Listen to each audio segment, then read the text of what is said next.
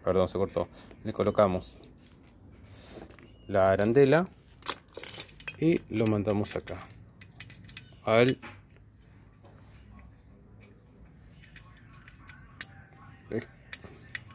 separador que sostiene la cufia. Ahí está. Una vez que está esto puesto acá ajustamos. Esto es provisorio para probar si el encendido tiene chispa luego hacer la colocación de la puesta a punto. Estoy apretando la ficha. Tiene que tener muy buena masa. Y colocamos en rojo en la bobina. Y este negro que queda es el que va al botón de pare de la moto. Uno al tocar en cualquier parte que haga masa eh, la moto se detiene lo que hay que colocar es el capuchón acá.